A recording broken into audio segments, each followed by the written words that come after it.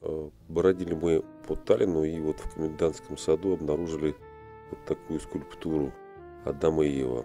Скульптор Эллен Кольк. А предыдущая скульптура была повреждена вандалами. Это уже обновленная скульптура.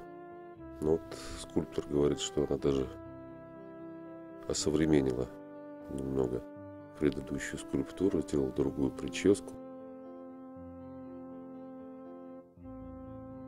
Так вот, вот такая вот скульптура Адама и Ева в Таллине, в комендантском саду. Все, пока, всем привет.